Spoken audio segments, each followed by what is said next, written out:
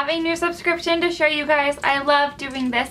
This subscription I actually was just about to buy when I got an email from them asking for me to try it out to show you guys and I of course said yes because it is so cool. It is a DIY box and it's monthly. They also have it set up to where if you don't want to do it monthly, you can just buy um, the ones that you want to do. Like they'll have the photo of the DIY project and you can click on it and buy it if you want it. This is by the company Darby Smart and the monthly box is called the To Die For box, but it's To Die as in DIY.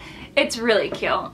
And you guys know I love the chevron packaging. That just adds to it. They have it set up so you can do it monthly for $19 a month. You can do um, three months at a time, like pay for it, or do the whole year. And it would be a little cheaper if you did the three or the year one, just like the other box. It just gives you a little bit of a discount. But 19 if you just want to do it monthly, and then you can cancel at any time. And then like I said, you can also do it as one-time buys. It's under their shop kit category, and you get to pick which ones you want to do because you get to see it. Monthly, it's going to be a surprise but if you do it one time buys on the kits you already know what you're gonna get and like what project it will be and I've seen it as low as like 14 all the way up to like 130 depending like how nice the stuff is and how much is involved. Okay so now on to the box I got this is February since it's actually already been sold out sadly but you can always sign up and get March I think still. It has a little card showing you the um, outcome of it and then also the instructions and they're clearly labeled. It was so easy to do and it comes with all the supplies so I didn't need to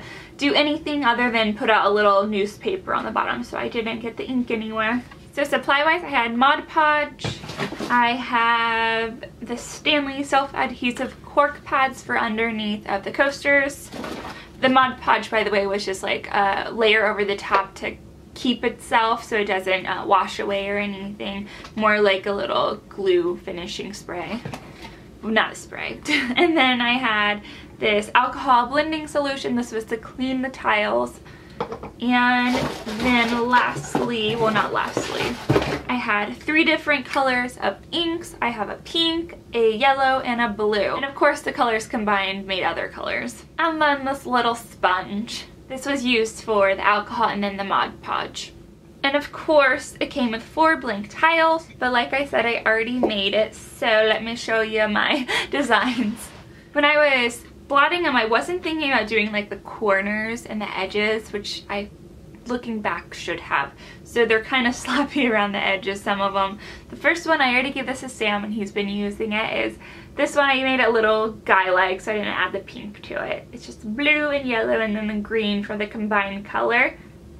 And this, like I said, the edges I didn't do. I'm not sure why, but you're really only going to see the top anyways. And then added this one. I think this was from all the colors combined a little bit. I thought that was really pretty. This one was just the pink and blue, which made a really pretty purple as well. Girly. And then this one again was all the other colors. I think this is the first one I did and it's very colorful and pretty. So we had four all together. I gave this one to Sam. I think I'm going to put some candles on these or give me some ideas of other things I could do other than using them as a coaster for like glasses because let's be real, I don't do that. I may give one of these to my mom and sister too, which would leave me with just one. Or I could steal Sam's back, that could be it. Okay, anyways, that was my project. I thought this was so much fun. Let me know your thoughts on it. DIY boxes in general, I love DIYs, so it's like a Pinterest project sent right to your doorstep. So that will be all, and I will have the link down below if you want to check it out. And I'll just see you guys really soon in another video. Bye!